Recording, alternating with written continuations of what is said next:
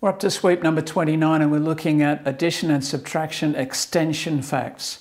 Now we can extend facts in a number of different directions. So if we take a fact like uh, 6 plus 3, we could extend that into hundreds, 600 plus 300, million, 6 million plus 3 million, decimal fractions, 0 0.06 and 0 plus, point, plus 0.03, and so on.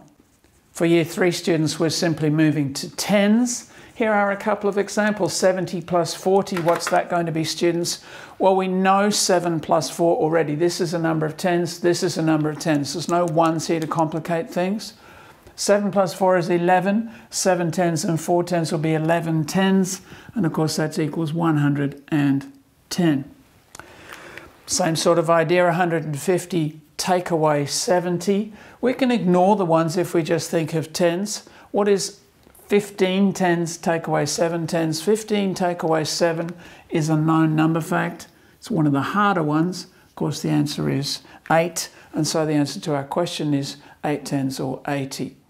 So all the examples in the workbook for this sweep are of these types, addition and subtraction using tens, and I think the students should be able to find this fairly straightforward. That's it. See you again soon.